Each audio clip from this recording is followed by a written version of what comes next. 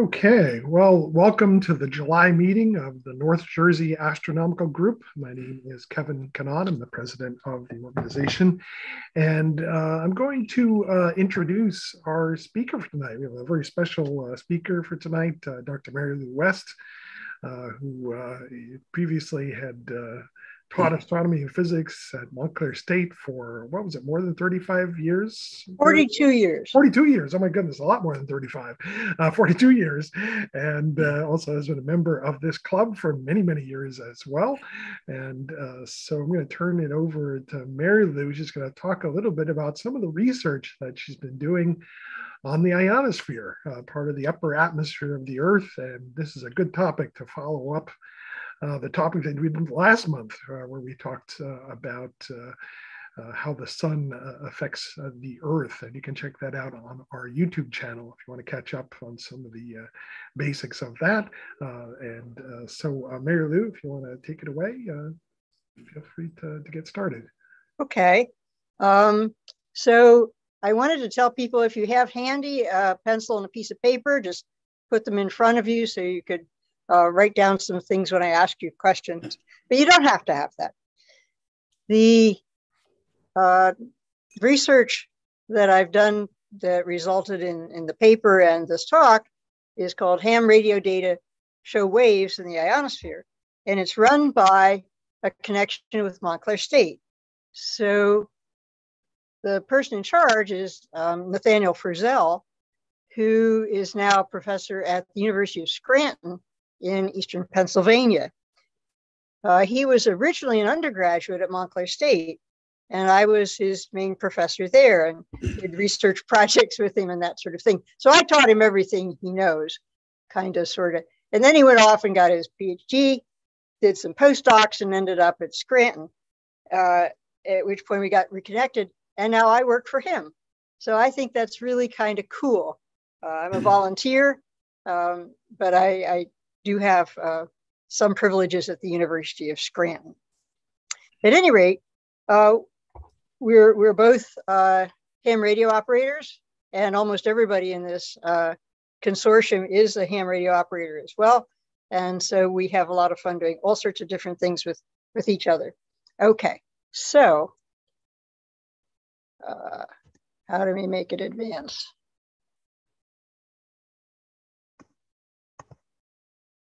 There we go.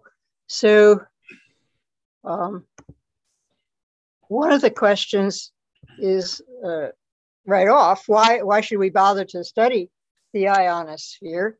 Um, and the main, the main answer is communications. Uh, it is a source to help us do a lot of communicating with each other. Uh, cell phones, everybody have a cell phone?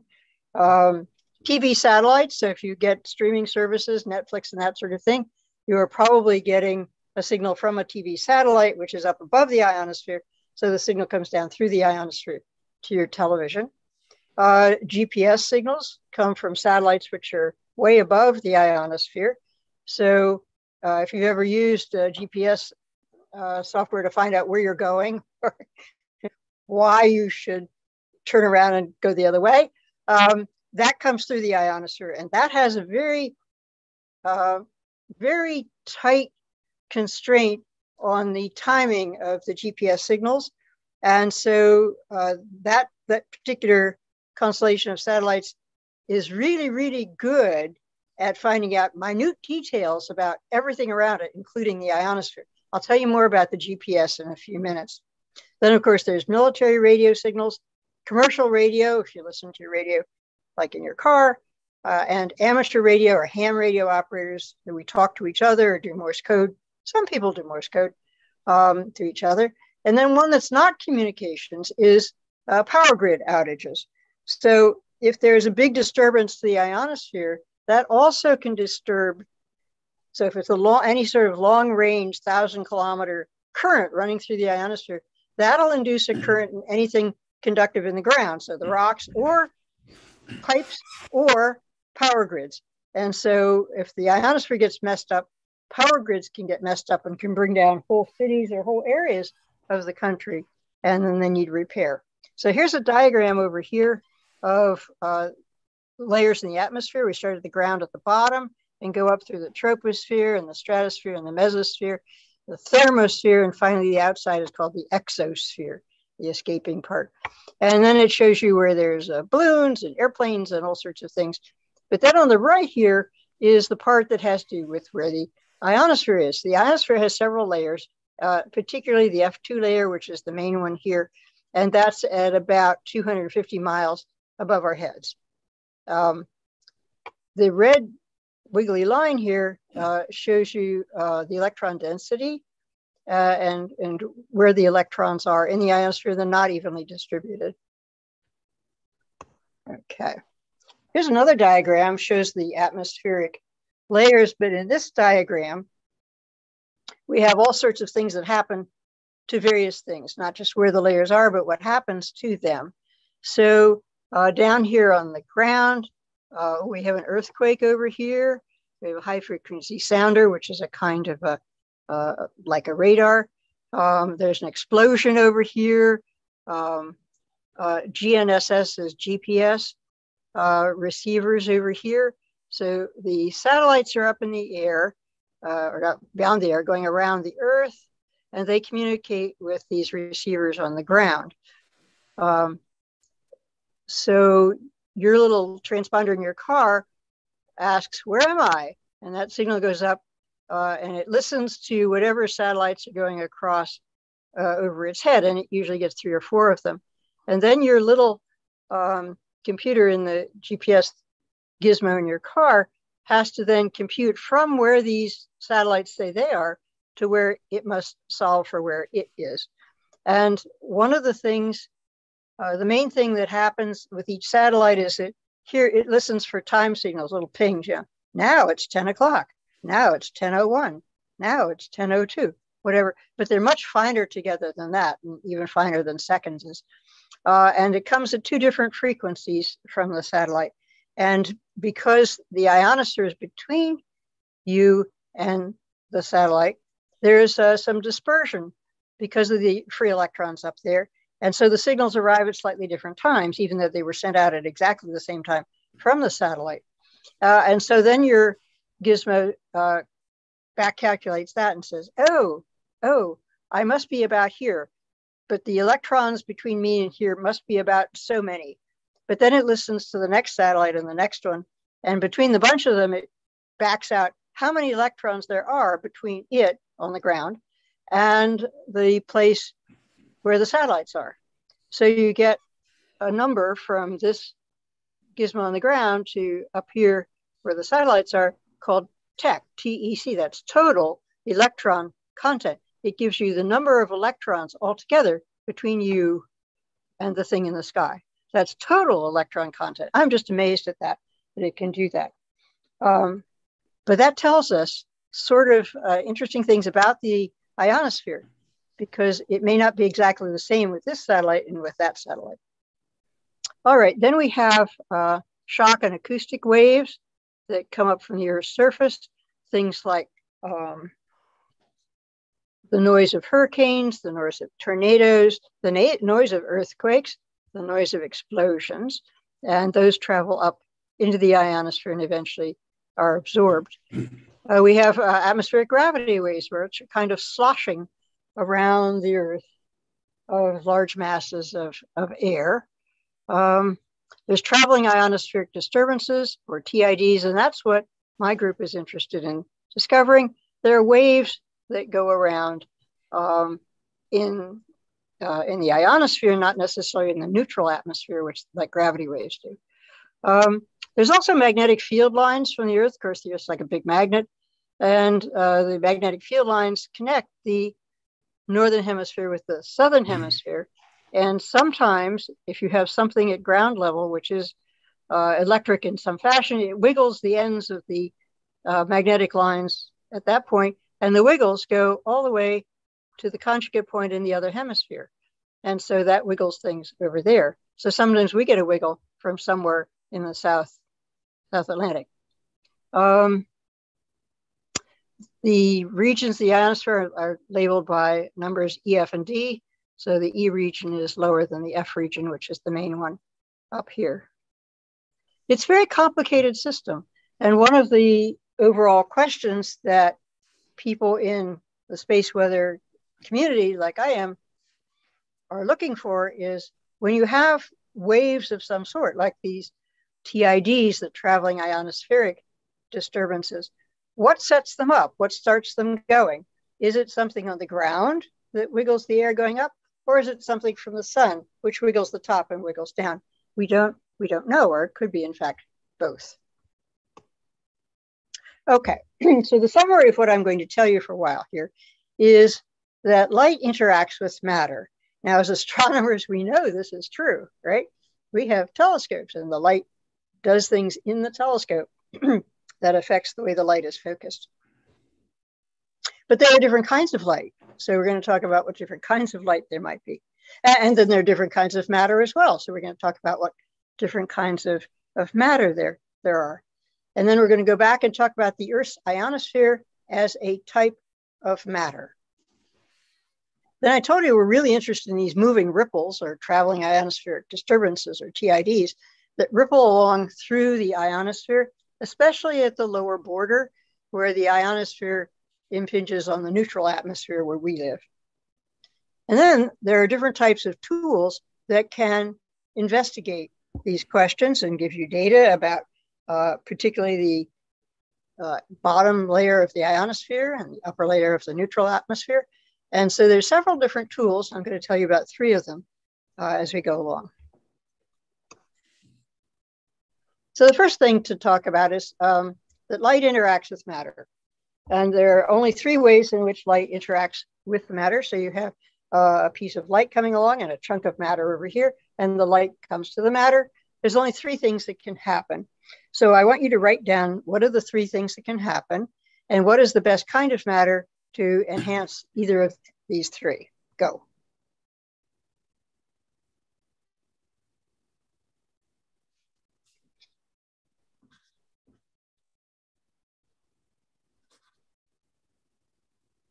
You just remember them or you could write them down if you if you have a piece of paper.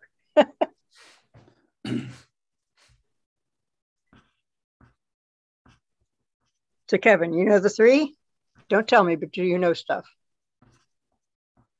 You don't know. Okay, so I can think of two off the top of my head, but I got, here's what I got.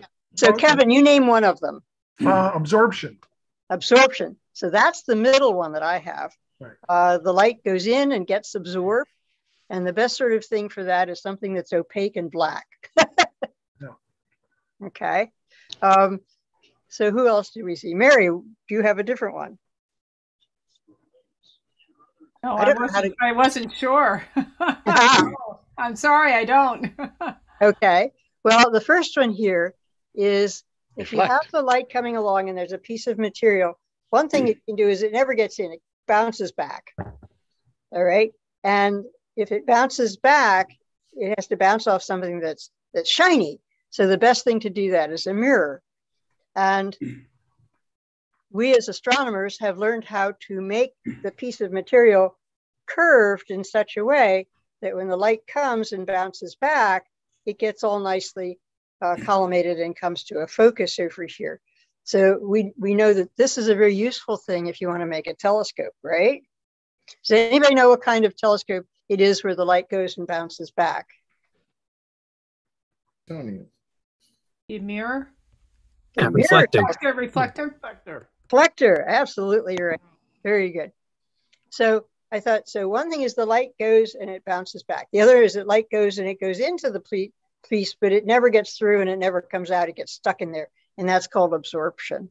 And then the third one is the light goes and it gets all the way through it and comes out the back side, and that's called transmission or refraction.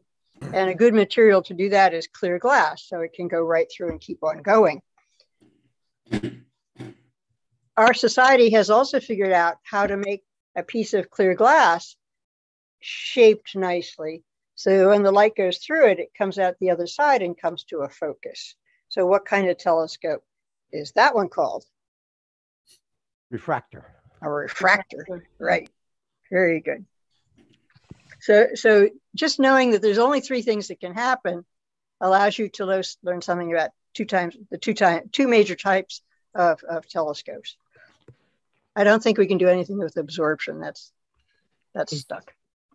Actually, I'm I'm wondering uh, if you don't mind me asking. Um, are we talking about visual light? Are we talking all forms of electromagnetic? At the moment, just you wait. At the moment, it's just light in general. Okay, light in general. Light in general. Okay, because so we have an instrument that does something. Mark, there are different kinds of light, and we group these together and call it the electromagnetic spectrum. So I want you to write down or see if you could remember in your head if you don't have a piece of paper. Uh, could you name at least eight different frequency bands in the electromagnetic spectrum? Oh. Take a few moments and see if you could get eight different things.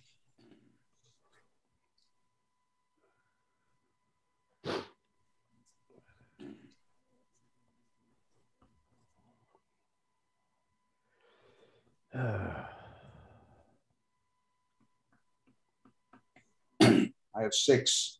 I got seven. Oh, good. Can anybody get up to eight? We're working on it here. This is great. This is good.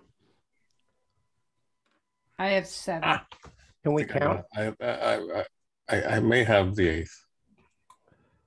Did anybody get up to eight yet? yes. You see, seven is not so hard, but getting a bit of farther than seven is tough. I think I got eight. I think I got eight. I got eight. We'll give a few more minutes, see if anybody else can get up to eight, eight. as well. Yeah, I think I got eight. But you know, eight is not a magic number, but seven is a magic number. Right. One, two, three, four, six. I got seven. Seven should not be hard because seven hmm. is a magic number. Eight is not a magic number. Eight is tougher. Hmm. You looking to mention the different radio bands like UHF, VHF, etc.? I just call that radio, so that's just one. Oh, oh then you want X-rays. Oh, okay. okay. Yeah, yeah, yeah, yeah, yeah. AM and amateurs. That's it. One. That's radio waves. Can anybody say their first seven? Six, somebody who got seven. What can you I'll say? try. Try. Well, now I have radio, which I didn't have before, but uh, visible, audio, uh, gamma, X-ray, infrared, and ultraviolet. That's seven. a whole bunch of them there. Has anybody my, got another set of seven? I, I yeah. got. I have radio, microwave, oh, visible, ultraviolet, X-ray, maybe gamma. Gamma's a good one. Yes. Oh, Gamma's a good one. Oh, okay. Nobody knows Gamma. Good for you. Oh, got lucky. got lucky. got smart. got lucky. Yeah, more like luck. I have Gamma. I have Gamma. Well, can anybody say what bands there are in visible? Ah. I mean, uh, Roy G. Biv. Roy G. Biv. I was going to say. Oh, all right, green blue. Does anybody? Can anybody say out what Roy G. Biv means? Red, green, blue. Yeah, red, orange. Red, orange, orange yellow, yellow, green, blue, green, indigo, violet. Violet. Yeah. Yes. Very good. Red, orange, yellow, green, green blue, blue, indigo, violet. violet. Which one is the odd color that nobody knows? Indigo. Indigo. Indigo. indigo. So, what color is indigo? Can you guess? Dark purple. Dark purple. Like there you go. why? Why was indigo a good color to know in the 1600s, and we don't know it nowadays? The dye was valuable. Yeah. It was a royal. It was a royal color. No, it wasn't royal. That's royal purple. That's that's violet. Indigo is not royal purple. Oh. Indigo is just sort of dark navy blue. What did they use it for? Oh, for ink. ink. It was the color of ink. Oh, very good. Yes. Oh, yes. Oh, yes. Everybody had a pot of indigo, indigo around the house and dipped your little quill pen or whatever into it. Um, just got rid of mine. No, I'm just kidding. really? Antique. so anyway, those. Uh, so how many? How many of those colors are there? Seven. Seven. And there, there are seven because seven is a magic number. And the person who first recited this group of colors had six, and then said, "Oh my golly, we need seven because we need a magic number." And said, "Okay, I'll fling in indigo. Everybody knows indigo, so why not?" Okay, who is that person? Mm. Who messed with color? He was the first person to take a beam of sunlight and split it into its colors. Newton? Isaac Newton. Yeah. yeah. Cool Famous guy. Yeah. And, but he liked magic numbers and he thought when I write out these colors, I got to have seven of them. Oh my God, I only have six. Oh, we'll, we'll fling in indigo then. Everybody knows what that is. So, so that's what happened. And we have seven primary colors because indigo was necessary to make it seven. Okay. So then we have some others. So besides those seven, people mentioned, somebody mentioned radio, and somebody mentioned microwaves, mm-hmm. and somebody mentioned gamma rays. That was yes. very cool. But there were a couple others that I've forgotten what people said. X-ray, VHF, VHF, EHF, audio, LF, audio. Well, audio, audio is not a color of light. No. Is, audio is not part of the electromagnetic spectrum. It is not. No. It's something that requires is not light. It requires a gas to go through. It is a sound wave. Sound wave, that's right. Yeah, so that's something different.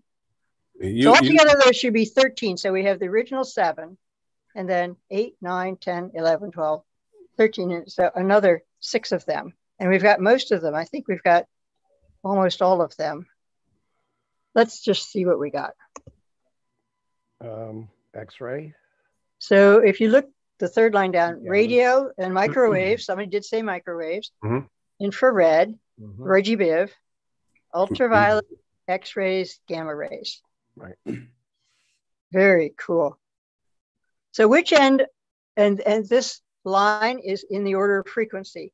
Which end is the low frequency end? The left end or the right end? The radio or the gamma rays? Left. Radio. Left. Radio. The radio. Radio. radio is the low frequency end. So radio is radio is radio waves are pretty low and and kind of kind of slow. Um, so then I was asked, which frequency band is your favorite? Does anybody have a favorite? Oh, Roy G. Biv. no, you have to pick one of them. Oh, just one. Yeah. Gamma rays. Gamma rays. Oh, there's I'll a high powered person. Gave Hulk his powers. there you go. There you go. So now uh, Mary should be quiet because she knows the answer to this riddle. But my favorite riddle of the last week or so was um, what washes up on very small beaches?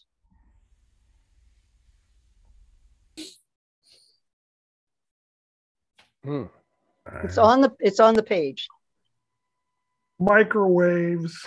Microwaves. Yes. Oh, jeez. There you go. So now you're charged with telling that to somebody else who might understand it. All right. Um, I have a question.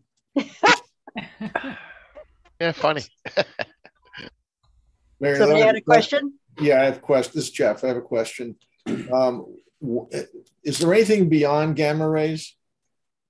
Very good question. And in fact, the, the real question is how do we define these bands? Uh, who gets to choose them? And it's all dependent on what equipment you have. So when somebody invents a new piece of equipment, then they get to name a new band. And at the moment, nobody has invented anything that is sensitive to the higher frequencies than gamma rays. So nobody has named anything above that. So gamma rays goes from here to infinity. You know, and if somebody finally finds a piece of equipment that they invent that's useful and they want to make a distinction between gamma rays and what would be to the right of it, then they get to name it and, and it will go on these charts. Okay. All right. And I think the people that invented, um, well, I don't know. All of these came about by different pieces of technology uh, that people invented and said, look at my mine can see from here to there. I want to call it blah. I get to call it blah because I invented it. Okay, you get it. All right. Um, I guess I guess sometimes people also talk about cosmic rays. And they, that's kind of a misnomer because it's not really part of the spectrum, right? Because it's really high energy particles, you know. Exactly right. Kind of confusing, yeah. Right.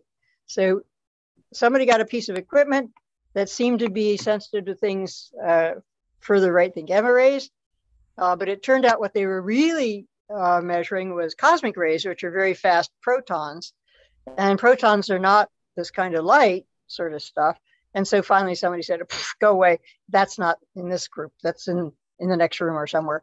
Uh, and so they took, took it away. But you'll find in some books, cosmic rays do appear after gamma rays, but then they were taken away quickly. So not that. Does anybody have a particular favorite here? Ham radio operators really like the left end, the radio end yeah, of the, the spectrum. radio waves. Just, just wanted to say that. That had to go there. Okay. Let's see. So now, having determined that there are various kinds of light, at least 13 different kinds at the moment, um, number three is there are also different kinds of matter. All right, so now can you write down or remember four different types of matter and then give an example of each of one of them? You mean states? Yep, yep, just write something states? down before, let everybody have a chance. Mary Lou, you mean states? Yes. yes. Okay. Uh, provinces would do as well. Oh, jeez. uh, Cantons. It took a while for that to sink in. I have four. I think Yeah. I have four. Four. Yep, there are four. Yeah, four. All right. So uh, somebody say one type and, and say what a good example is. Solid. Okay. What's an example of a solid? I'd say, or no, steel, rock. Steel is good. That's a great Yeah. one.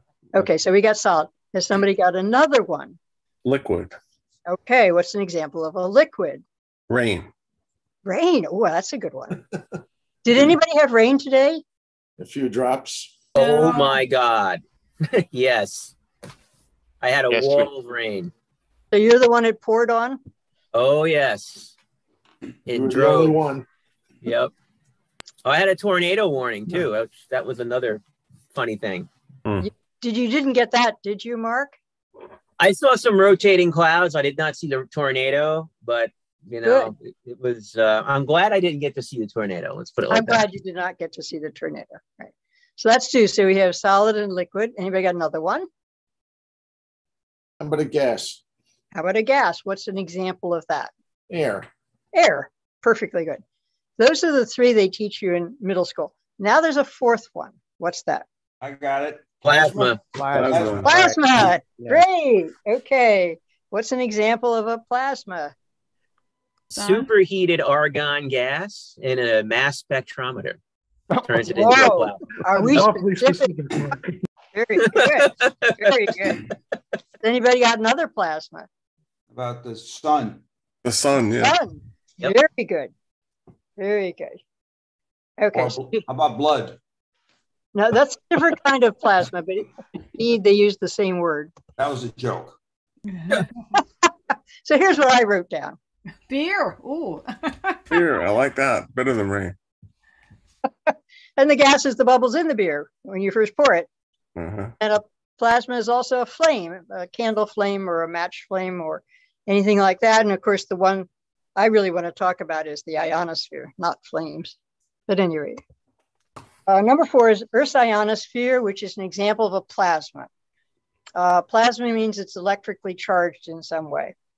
So this is a gas with some electrically charged particles in it. Uh, it's not very electrically charged, only 1% to 10% of the uh, particles are electrically charged. It's mostly neutral. Well, what does that come out to mean? So the second point, neutral nitrogen molecules, so N plus N, uh, neutral oxygen molecules, so O plus O. There are some ions, which are positively charged, and some electrons, which are negatively charged. And they're equal numbers because overall it's always neutral. Um, so that, that's what it is. And it's caused by the ultraviolet light coming from the sun.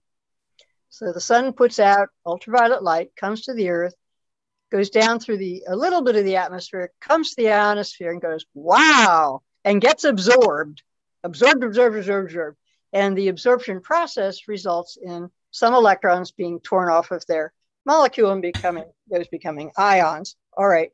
So by the time the light from the sun, the whole bunch of light from the sun gets through the ionosphere, the ultraviolet has all been lost because it's been taken up by cutting these neutral molecules apart. Um, and so this is very good for us, especially those of us who have pale skin, because by the time the light gets to the ground, there's not very much ultraviolet there at all. And so we can't get burned, sunburned right away. Yay. Okay, so the ultraviolet light from the sun causes the ionosphere to become electrically charged. And once the electrons are torn off from their molecules, they just sort of wander around for a while. So, since it's daylight which does this, the ionosphere is thicker and more intense during the daytime. And as the nighttime goes on, it gets less and less charged as the electrons eventually find uh, their ions and recombine with them. So this occurs from 100 to 300 kilometers above our heads, and uh, the air below it is neutral, and mostly whatever is above it is also neutral. So here's a uh, diagram which I think is interesting. the x-axis across the bottom is temperature in degrees Kelvin, and so as you go to the right, the gas is getting hotter and hotter. All right. So the y-axis, which goes up toward the top, is the altitude above the Earth, and this one's in kilometers. And we look at the wobbly tracy line there. There's a different one for summer and winter, but not very much, uh, which means that as you go up from the Earth's surface, um, the temperature gets a little colder, gets a little hotter, gets a little colder, and then wow, gets way hotter. so you see that line that begins at 100 kilometers goes swooping off to the right. That's telling us that the ultraviolet light from the sun got absorbed there. And it not only made the ions come apart a little bit, the atoms come apart a little bit, but also gave them some thermal energy and they're bombing around at great speed. So that, that really, I think, is a very exciting graph. says the temperature goes up from around 200 Kelvin, which is where we are uh, nowadays here at the, at the Earth's surface, uh, goes up to 1,000 Kelvins. That's pretty, pretty amazing. Mm. Okay, so now part point number five. we have this slightly ionized layer, the plasma, above a neutral layer, and there are moving ripples in that. These moving ripples are at the bottom where these two layers of gas come together. Uh, and they are vertical excursions, vertical variations in the lower edge of the ionosphere, or they can be thought of as vertical variations in ionization or percent of electrons, something like that. Uh, these ripples, and there's a diagram here, some measurements of some ripples. Um, these ripples travel pretty fast. They go about 1,200 kilometers an hour uh, which is faster than my car goes, right? so then it's considered fast. Okay. There are two kinds. Uh, we have divided them into medium scale waves and large scale waves, fairly arbitrarily, but different uh, pieces of equipment um, can detect the medium scale ones better or the large scale ones better. And the type of equipment that we have is better at the large scale ones. So we find this a useful sort of a division to make. So the large scale ripples, the large scale disturbances have wavelengths greater than a thousand kilometers. So these are very large, fat waves, uh, but they travel fast. So they're large, fat waves and they zoom along and they have a period, which means if you stand still on the ground and look up at one, goes from a lot of it to little of it to a lot of it again in a half, anywhere from half an hour to three hours.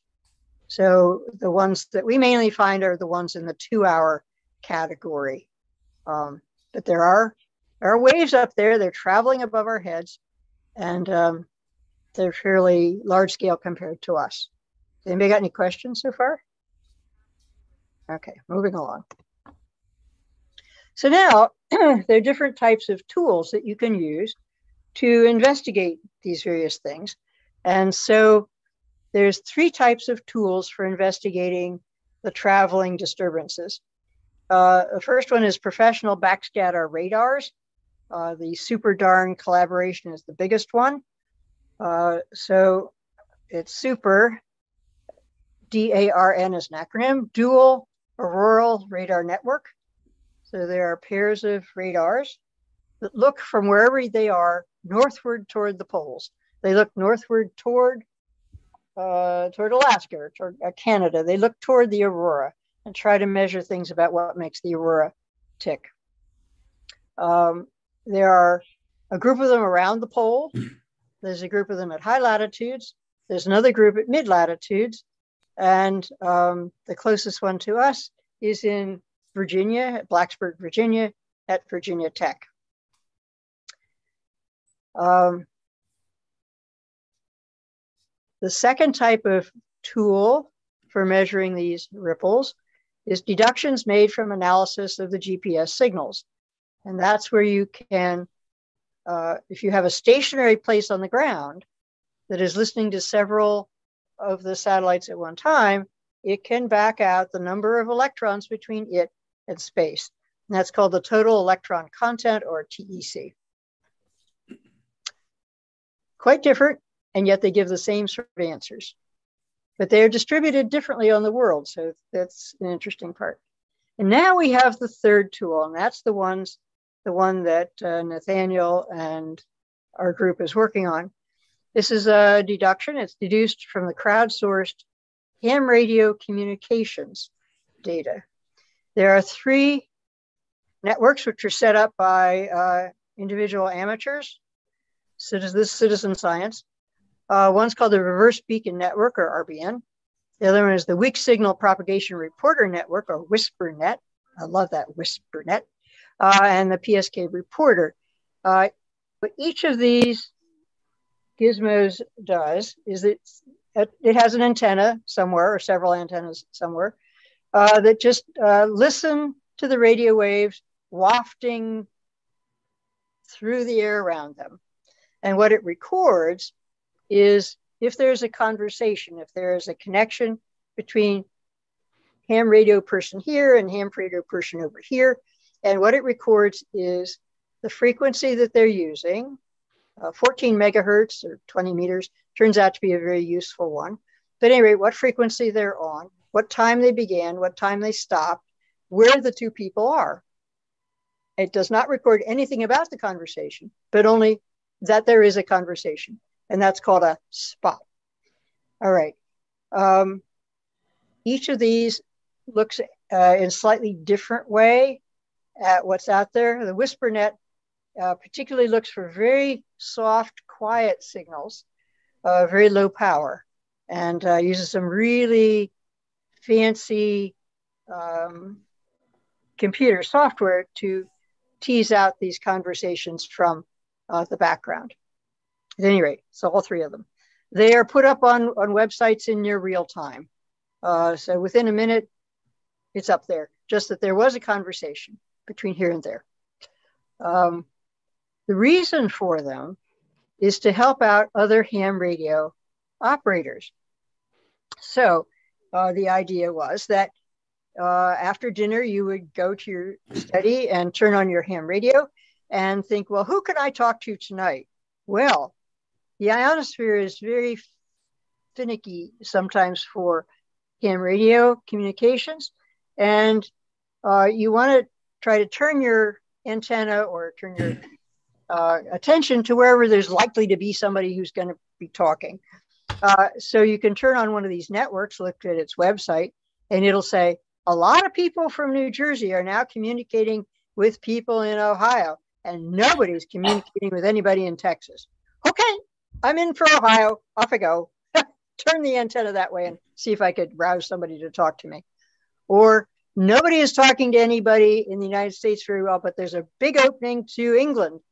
Everybody's talking to somebody in England. Find somebody in England then. Okay, I'll do that. So that was the usefulness of it. Uh, and but there are huge numbers of ham radio operators in the world, and they talk to people all the time. And it turns out the number of spots or communications, individual communications, is well over uh, 200 million a day now. So this is big data. So I thought I'd show you a picture of some uh, ham radio folks there. Uh, ham radio hobbyists communicate over thousands of kilometers away. And that's well beyond the horizon of the Earth, which is, of course, a spherical ball, not a flat Earth. Um, and the radio waves from my radio go up, hit the ionosphere, come back down, bounce off the ground, go up again, and can bounce three or four times around the Earth to get to somebody in England or somewhere far away, and I could actually talk to them. Uh, there are multiple, multiple hops. But if the ionosphere bottom is wiggling or moving in any way, uh, these signals can be sent sideways or they can fade away or they could be intensified. Because sometimes when you have uh, like a, a dish shaped concave part of the ionosphere, your signal goes up and gets concentrated down to somebody on the ground over there. It's like focusing a telescope. Um, so the signals come and go, they fade and intensify, uh, sometimes on periods of minutes. And this would indicate finally a range in which you could communicate, which is suddenly very larger or suddenly very smaller than what you had a few minutes ago. And range is what we're going to measure. So our new tool involves understanding ionospheric variability. Uh, this is a frontier topic in the space physics community. None of us really know what's really going on. But these can reveal changes in the ionosphere itself. And these communication statistics or spots are logged by this automatic equipment, uh, somebody's computer in their basement, right? And then put on the website uh, within a few seconds. Uh, these statistics began to be kept a decade ago. Uh, they do several different frequencies between 3 and 30 megahertz, so the uh, high bands. Um, so there's the three things, the RBN, PSK Reporter, and WSPRnet. And they reach millions and millions of spots every day. Oh, missed one. Try again. Ah, back, back. Millions of spots. Okay. So the older instruments, I want to show you a little about them. Uh, one, there's the SuperDARN radars, which do not look like a dish, like you think of as a usual type of uh, they're just uh, a series of vertical poles and it's uh, phase, phase coded. Um, the two diagrams with green, blue, and orange on them are maps of the North Pole and the South Pole. Uh, show you where these various things are and what their fields of view are. So there's the polar group in green, the high latitude in blue, and the uh, mid latitudes in orange. So there are several dozen of these in the northern hemisphere and a dozen or so in the southern hemisphere. Um, I really liked the diagram on the left there. It's very colorful. Uh, it, I find it symmetric and beautiful. So I made it into a quilted pillow, uh, which is in the picture in the upper right. Um, and, and that's Nathaniel on the day he got his PhD. The PhD thesis defense, and that's me, and I gave him the pillow. Nobody will understand this. Anyway, the second older instrument is the TEC, total electron content, deduced from the GPS array. And that produces um, maps like you see on the right side. Uh, these are both on the same day, but at different times of day. So one is at 1343 universal time, the bottom one is 1613 universal time, so three hours later. And what is shown in the picture, the color code, is the blue is not very many electrons, and the orangey red is lots of electrons. And what you can see there is that they are, you know, on that day, aligned in stripes which are nearly horizontal, but not quite. And they travel from the upper left down to the lower right. So these waves which stretch all the way across the United States, are coming downwards uh, from Canada toward Florida. So uh, ionosphere variability is a very, very complex system. And this makes it frustrating, but also very, very exciting.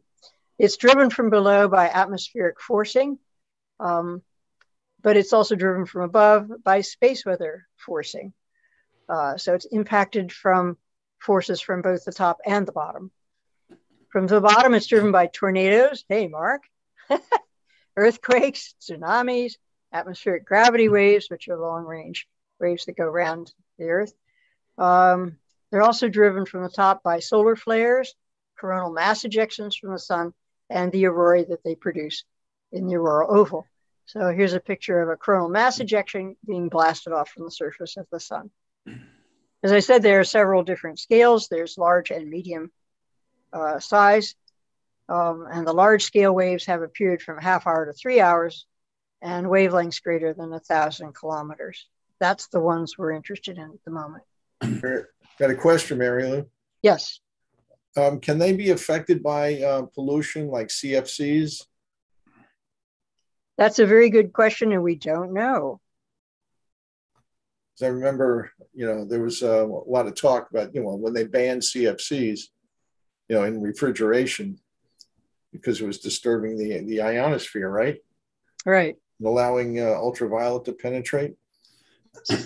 So that is, this is one of the questions we're hoping to answer one day. Further off questions. Um, what that does is it sets the whole ionosphere deeper into the atmosphere, or now that they're gone away, allows it to go up further. Um, and we're not sure what if we can even measure that and, and uh, can we deduce from that is pollution abatement working? Um, I don't know. Okay. But yeah, I must do something. so I have three pictures here, uh, and this is under the uh, part which is called validation, uh, which uh, we are doing again right now. Um, so the top picture is the new tool, uh, range distance versus time of day for ham radio data. So each of those little tiny yellow dots is an individual conversation. And there are, I don't know, a million dots on the picture, whatever. And what you see is um, at the bottom of the yellow part, where it impinges on the dark blue, there is a kind of a waviness. And we've taken um, a red pen and written little red dots. Can you see the sine curve there at the mm-hmm. lower left? Uh, that's a sinusoidal wave. so it is kind of a sine wave, but then it dwindles out and doesn't continue. Uh, but this would be from uh, like 1300 hours to uh, maybe mm, 1900 hours, something like that during that day. So that's the ham radio stuff. It matches on that day the SuperDARN radar from, I think this is the one in Blackstone, Virginia, um, in which the machinery is sending out a radar wave and then getting it back again. Uh, it's not passive, it's sending something out. And again, at the lower left, you see the sine curve and it matches uh, the radio data above it. And then at the bottom, we have the total electron content data from the GPS satellites. And here again, we have a, a kind of wiggly wave, but you notice that they're uh, opposite phase to the ones above them. So these two come together, then they go apart. And they come together, then they go apart. They come together and go to apart. So we think it matches up. So the question is, if you have a new tool, why is the new tool at all useful? Uh, does it just do what the other ones did, or does it do something better or, or more? It does do something better and more. So in particular, it's got very high resolution spatially because there are a million ham radio people with stuff in their basement, right? so it is not undersampled in North America or Europe.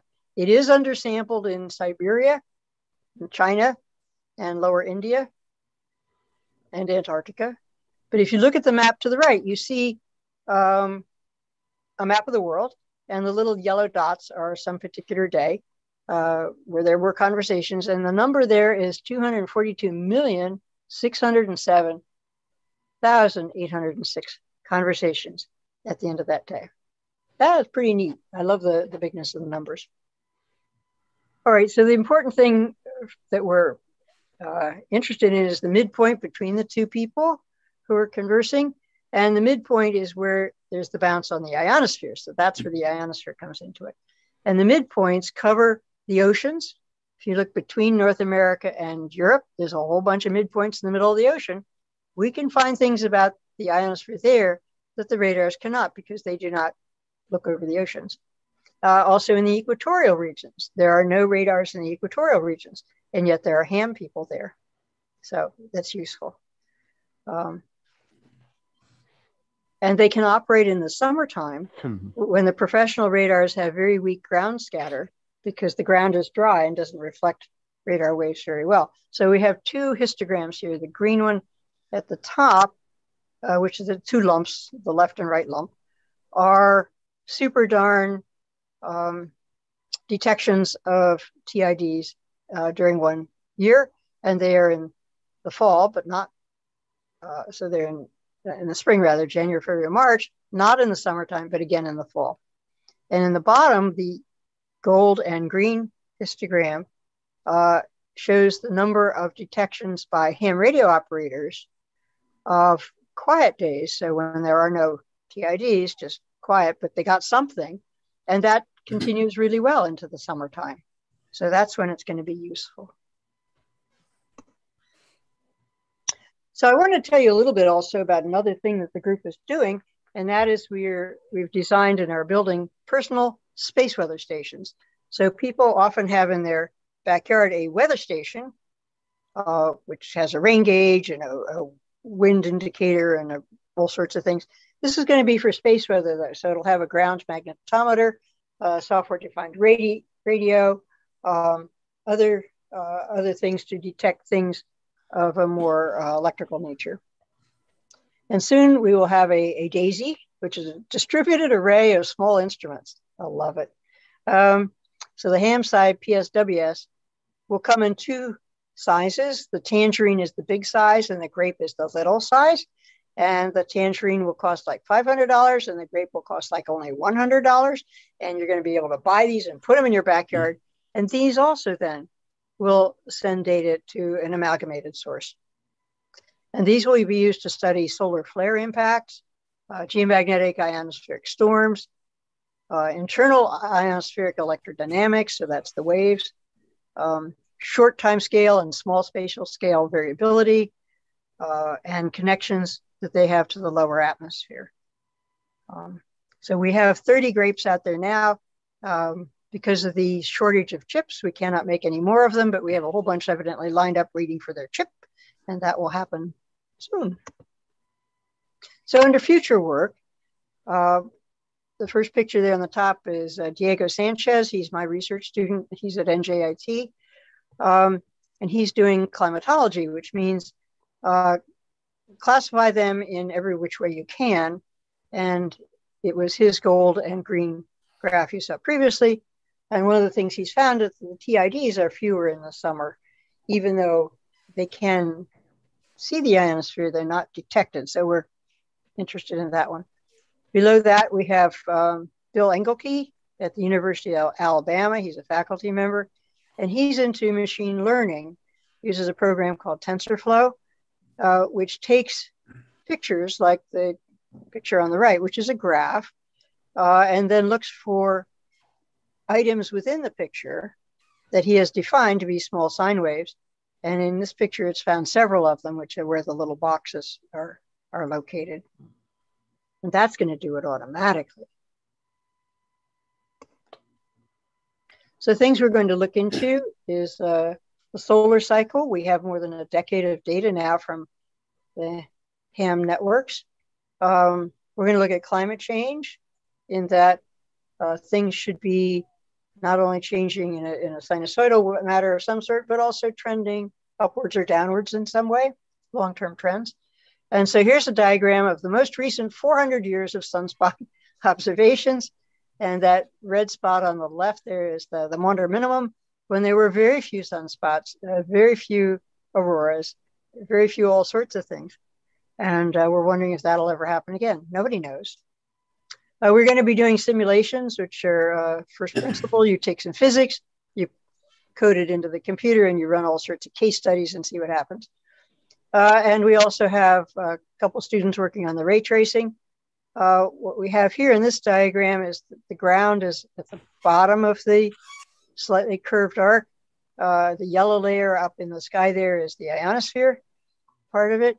And uh, somebody at the left at zero there is sending out radio waves and they go up and some of them scoot off into the ionosphere and keep on going. They're lost to space. Those are the little white marks going up uh, up there. Uh, but uh, some of their um, waves are bounced from the ionosphere's lower level back down to the ground and bounced up again. And uh, you could see what people you might be able to talk to there.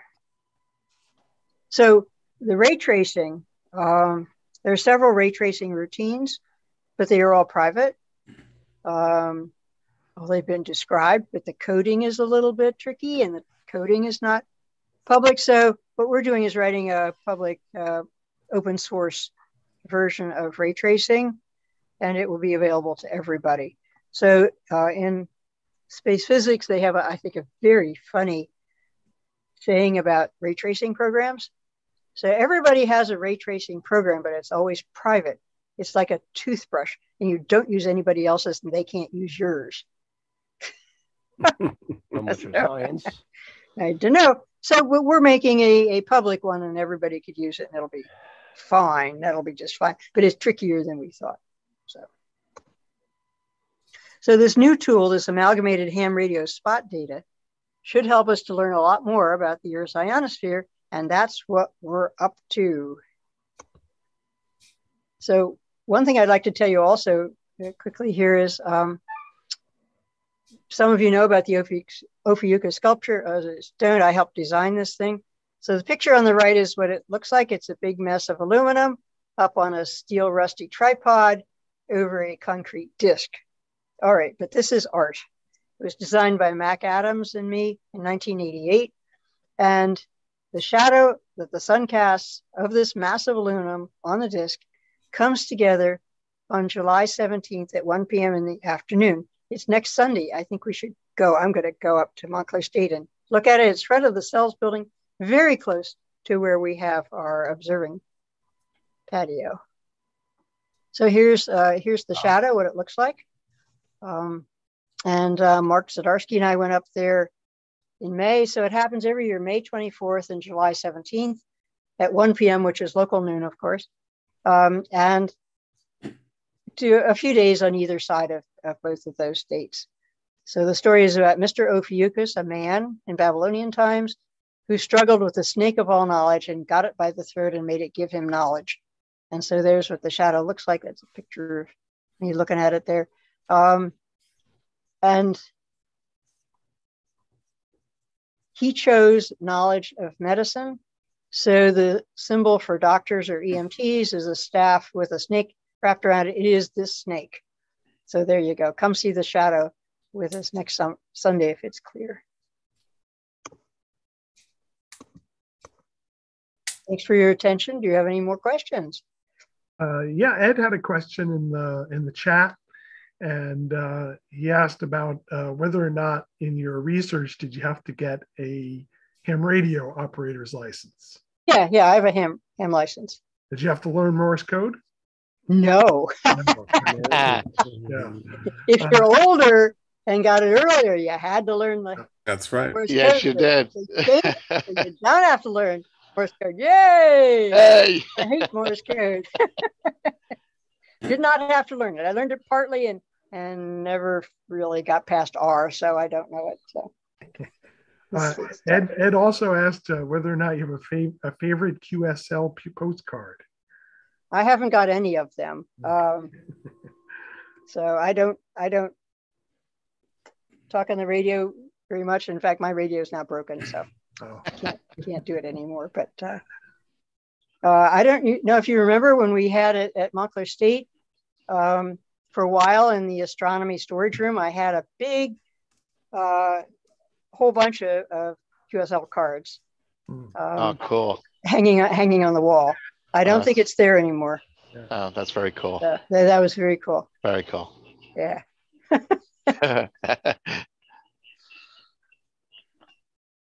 Thank you. Any other questions or comments? Yeah, I, I had one, uh, not really a question, but more more of an observation. So that uh, that graph of the temperature, right, and, and where it starts to rise and and uh, and, and goes uh, far to the left, excuse me, to the right. It happens at around 100 kilometers. That's uh, that theoretical Kármán line where the uh, uh, space, you know, outer space begins. So uh, could that is that a factor or? Uh...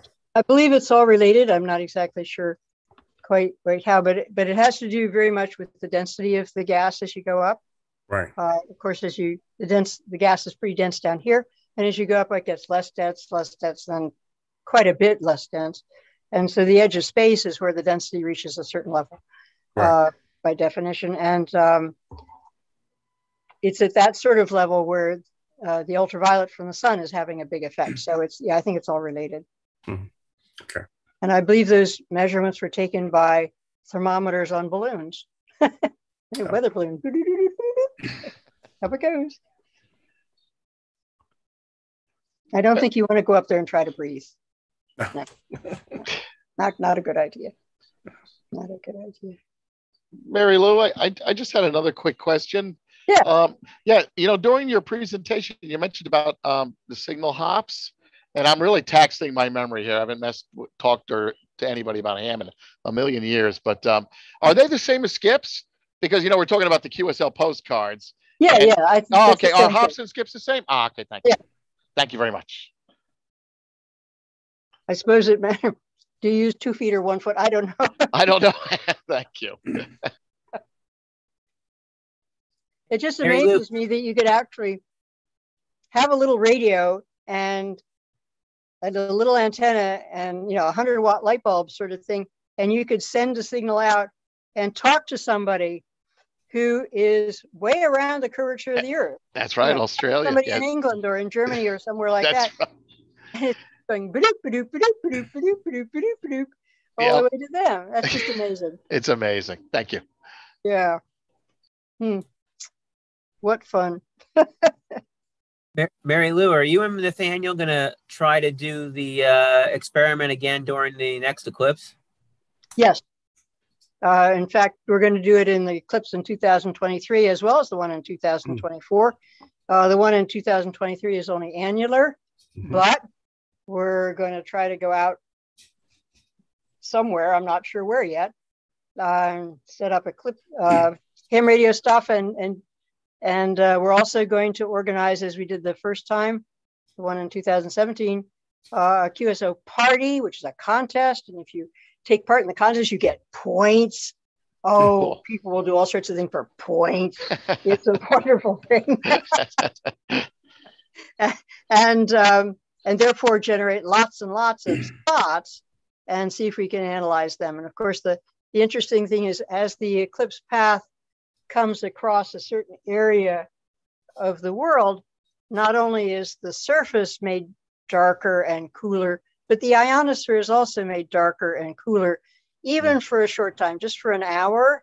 Uh, it changes the reflectivity of the um, of the ionosphere itself. And can we measure it? Can we measure it accurately? Not yet, but we're working on that part of it. Um, but it's like if you had a, a, telescope, which was a, a, a mirror, a reflector, and you blew a cloud across it, uh, it would change what you saw for a while. And once the cloud goes by, then it should be back to normal again. How soon is back to normal? and um, so this is uh, this is one of the things that interests me is that if you cool down the atmosphere, the ionosphere, so some of the electrons find their partners again. It's like nighttime. Um, how long does it take them to find their partners? It doesn't happen instantly. Is it 20 minutes? Is it a whole hour? Is it an hour and a half? How long does that take? This is chemistry, right? And how these little particles move and find each other in an atmosphere in which they have to bounce past other things to find each other. So it's both physics and chemistry. I think it's an interesting thing. Very cool. Yeah. Mm. Any rate, yeah. I don't know where we're going to go in 2024, possibly Texas. I don't know. Even though my son lives in Vermont in the path of totality, where it's always cloudy in April. Forget that. And in, uh, in 2023, Mary Lou, where, where are you headed then? Uh, we haven't decided yet. In fact, we have um, two grant applications in, one for each of these eclipses uh, to buy some equipment to take with us. And, uh, that was left. That was left mm, blank or unanswered in the uh, grant proposals. Mm-hmm. Um, so we really don't know, but we yeah. do know what equipment we want. Step one. Step one. Let's get some more equipment. What you always need is more equipment. Uh, yeah. Okay. Well, if there are no more questions, then we'll we'll move on. Uh, do you want to look at some of the um, the new Webb uh, space telescope images? Sure. You know, you got you got them. That'd be great. A lot of people have seen quite a few of them, but uh, yeah. you know, just in case you haven't, I suppose you know. Uh, so this is the uh, uh, uh, deep field, the the Webb deep field, the, the Webb's version of the deep field that the Hubble Space Telescope originally did. I don't know what three of them, something at least at least two or three of them. and the amazing thing is, is that you know the Hubble took many days, somewhere between anywhere between 13 and 20 days to build up the uh, uh, deep fields that they published. Uh, this is, you know, only hours, you know, so this telescope is big enough that it can do what Hubble did in days can do it, it can do in hours, you know, so it's kind of amazing. Uh, and you can see lots of stuff going on here. You've got some uh, quite a few foreground stars uh, in this image, but everything else you see is is galaxies. You know, mm-hmm. masses of galaxies, and you've got uh, gravitational lensing going on here. You can see distorted pictures of distant galaxies, and so it's really quite a quite a busy and amazing uh, image here. You know, beautiful. Yeah, love the diffraction spikes too. Yeah, yeah. You know, I saw a couple of comments online like, uh, "Oh, geez, why couldn't NASA turn off the star filter?" You know, like, star filter, not a TikTok filter. You know, it's actual diffraction grating, uh, diffraction uh, spikes from uh, the actual structure of the telescope. You know, the uh, mm-hmm. supports for the secondary mirror uh, are causing those those spikes. You know, and I suppose they could have digitally removed them, but uh, it makes it nice. You can distinguish which objects are stars and which are galaxies pretty easy, easily by just looking at the diffraction spikes. You know. Is it, is it, is it due to the hexagonal shape of the elements? Um, you know, I forget how many. It's mostly to do with the struts. Uh, that hold up the strut, the, the secondary mirror, and I forget okay. how many struts there are. You know, uh, that, that's what's causing the, the pattern. And, and, is this also the deep time uh, exposure or photograph? Yeah, yeah, deep. That's the the, the deep field is what they yeah. call those. Yeah. And uh, hey, Kevin, you think they they plan to uh, replicate what uh, the Hubble deep field and make a comparison of the two? I don't know, but it's a good idea, you know, because like I said, there's there's two or three of them, and they could uh, you know replicate those pretty easily, pretty quickly. You know, some of them are already posted on the IO group. That yeah. they've already made the comparison. Well, he, I think he means reshoot them. I think is what what he means. You know? Oh, okay, right, right, right. Which you could do. It would be a nice comparison. Uh, yeah.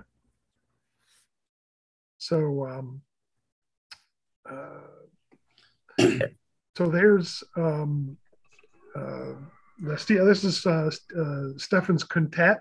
It was a pretty popular uh, target object for amateur astronomers, and uh, so this is pretty spectacular. If you look at the uh, galaxy on the left, uh, you can actually distinguish individual stars in this in this galaxy, which is pretty amazing. You know, mm. must be close by.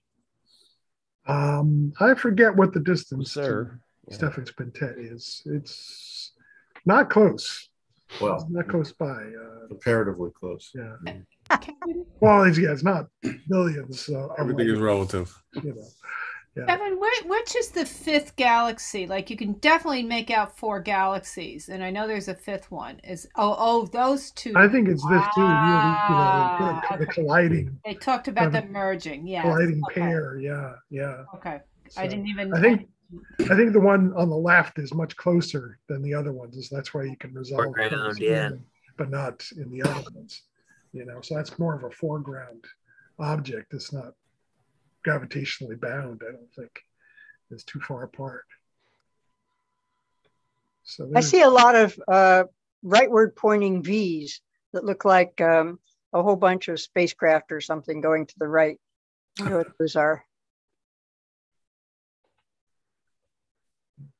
So uh, let's see. Um, But at any rate, what's the next one? Oh, there's a good one. yeah, this is the the Southern Southern Ring. Ring, You know, the Southern Ring. You know, of course, uh, this time of year we uh, we love looking at the Ring Nebula in Lyra, but this is the Southern Ring, uh, which we can't see from New Jersey, and so uh, I'm not quite sure what this uh, looks like in amateur telescopes. I'm not sure, but uh, uh, this is really a spectacular image. So beautiful planetary nebula and you can really see the structure of it. You can really see that the uh, star, as it was dying, it's you know shoving off these shells of gas out into space, and you can actually see the the shells uh, in in this in this image, which is really kind of amazing.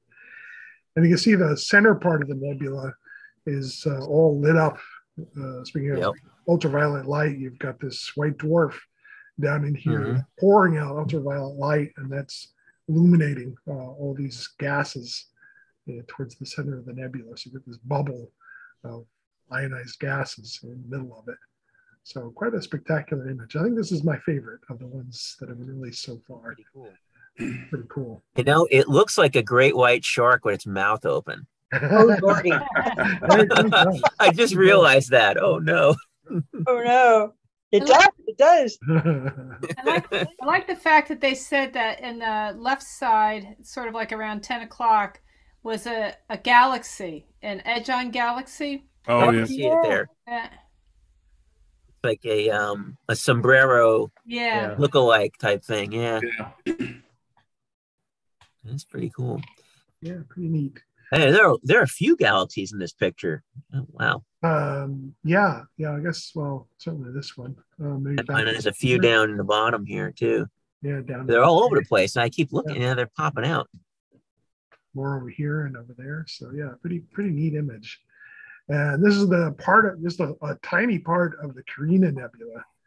Uh, this is uh, I think Hubble took a similar image, and they referred to it as the cosmic cliffs, because you have this cliff of, of gases, and uh, off above the edge of the top of the photo, you know, there's young stars, and again, there's ultraviolet light pouring out of these stars, and you get this kind of bluish glowing gas. And you can see this dense gas down below. And this is where stars are forming. So it's a tremendous star forming region in the southern hemisphere so it's really quite quite amazing. And this is just a tiny piece of a pretty big nebula you know? So it'd be interesting if to see if they can uh, do a mosaic of this and make it larger. That would be really kind of spectacular. And I forget, I can't remember which image I was looking at, but one of the images in this set, um, the original, the, the, the original copy is uh, 15,000 pixels across and 12,000 pixels high. Big camera. Yeah, so it's that's that's a lot of pixels. High res. so, and uh, the fifth image is actually not really an image image at all, but a, a spectrum.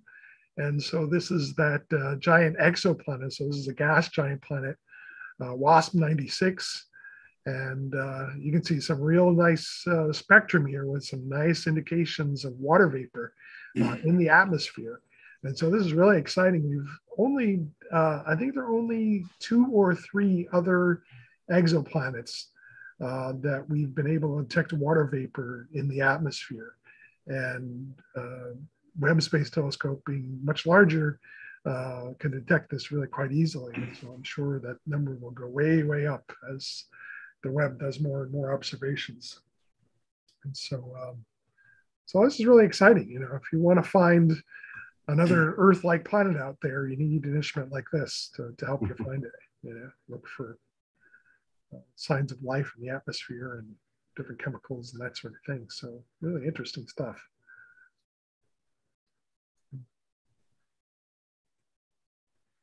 Okay, well, that's the uh, uh, end of our uh, images here. For sharing this, Kevin. This is great. Yeah. And uh, so, uh, so we're going to wrap up this part of our uh, of our meeting. Um, uh, Mary Lou, are, are we doing our summer uh, our roundup, or what do we want to talk about it for the, the September meeting? Oh, oh yes. So there's no meeting. There's right. no meeting in August. You skip August. Skip August, but September. Um, we're going to do um, members astronomy adventures or something like that. Right. Uh, where uh, whatever you've done over the summer or or in fact around the whole year what sort of uh, things you've done that's been astronomical and, and interesting mm-hmm. um,